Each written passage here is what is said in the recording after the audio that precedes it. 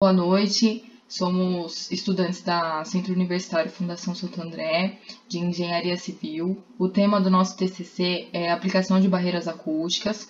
Estamos nos participantes Larissa, Vitória e Temer, com a professora orientadora Fátima Toches.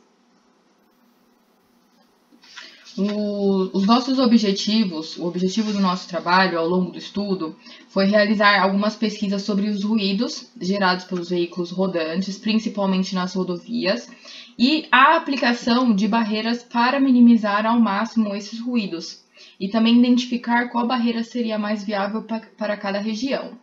É, nós escolhemos esse tema, pois com as grandes expansões urbanas, o aumento do tráfego tem sido muito intenso, fazendo com que a população que vive em torno das rodovias elas necessitem de alguma intervenção para minimizar esse problema e não prejudicar a saúde. É, a metodologia é, empregada nessa pesquisa foi baseada em diversas formas de coleta de dados, como entrevistas, pesquisas bibliográficas em artigos, experiência pessoal e a orientação da professora Fátima. Os resultados obtidos, é, com base nas pesquisas realizadas, foram feitos diversos comparativos, em especial a absorção de ruído, que é o principal foco desse estudo. Não podemos concluir a barreira mais viável, pois cada uma tem seu benefício e viabilidade para cada local onde será aplicado.